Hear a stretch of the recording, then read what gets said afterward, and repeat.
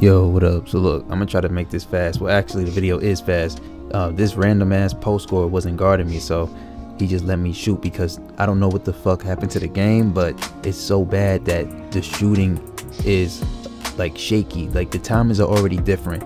Now we got to figure out this new, I guess it's a secret patch or some shit. Everybody's saying their field goal percentage is going down. The game's broken, and now post scorers are back because now you can't even rip anybody. So this guy doesn't have unpluckable at all, and I could not rip him to save my life. But this was another game, and actually it's it's crazy because I actually beat this guy again.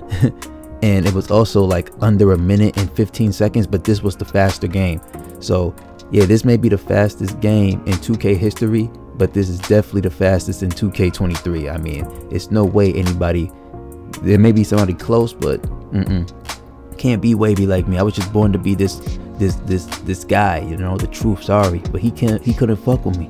Get this baboon out of my damn face. Peace, I'm out.